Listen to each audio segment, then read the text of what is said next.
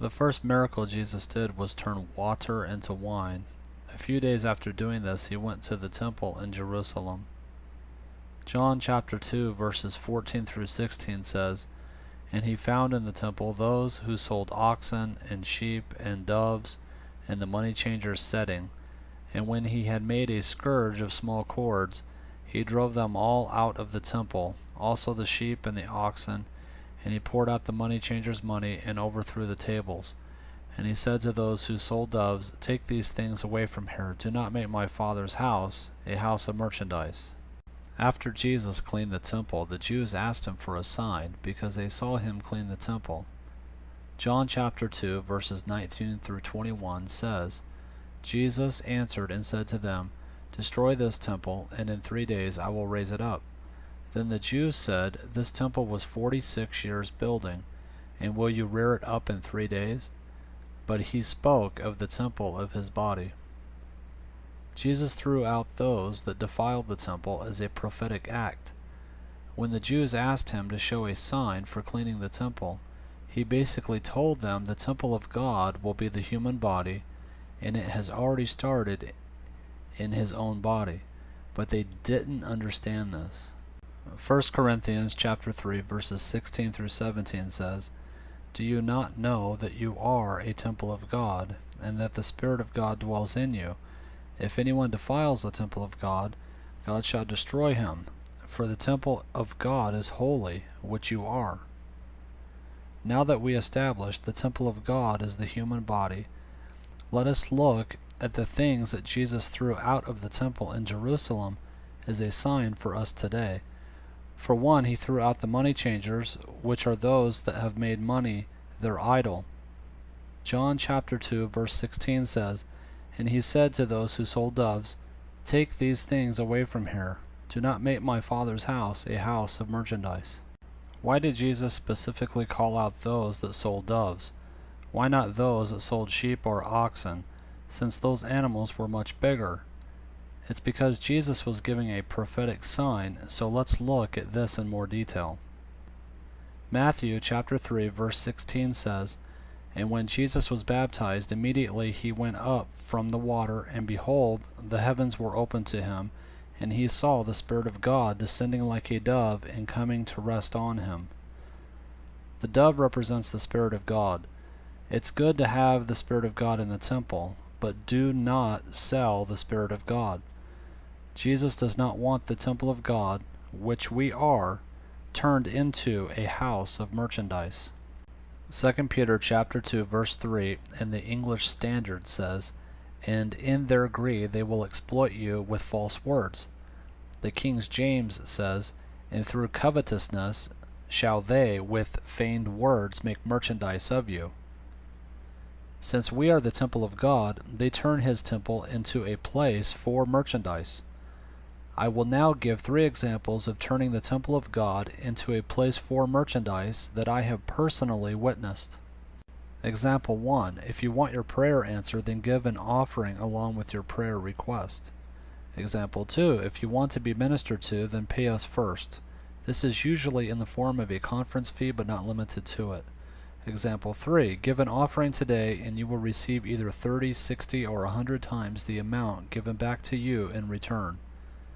All of these examples are egregious and contrary to the Word of God. They make you wonder about those that practice them, which brings me to my next point.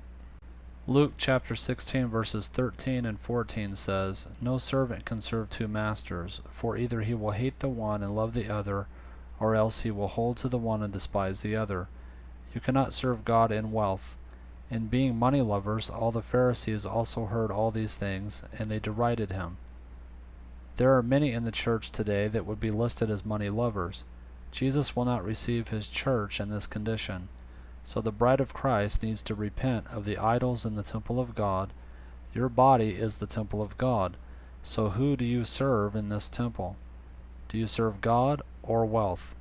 Do you seek God through prayer, or do you seek the temporary riches of this life?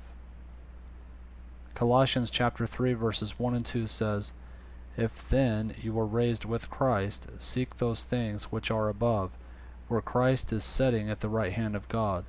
Be mindful of things above, not on things on the earth. Jesus kicked out the money changers and dove sellers two times. John chapter 2 gives the first time, and the other three Gospels speak of the second time. The account in Matthew will be my focus. Matthew chapter 21, verses 12 through 13 says, And Jesus went into the temple of God and cast out all those who sold and bought in the temple, and overthrew the tables of the money changers and the seats of those who sold doves. And he said to them, It is written, My house shall be called the house of prayer, but you have made it a den of thieves. The temple of God is supposed to be a house of prayer, which is communication with God, not a place to sell the Spirit of God. The Spirit of God is freely given, and we are supposed to freely give. Matthew chapter 10 verse 8 says, Heal the sick, cleanse the lepers, raise the dead, cast out demons. You have freely received, freely give. The temple of God becomes defiled when receiving money for the things that God does with His Spirit. Remember, it's not man that heals the sick or casts out demons. It's the Spirit of God that does it. Peter and John understood this concept as mentioned in Acts chapter 8 verses 17 through 23 which says, Then they laid their hands on them, and they received the Holy Spirit.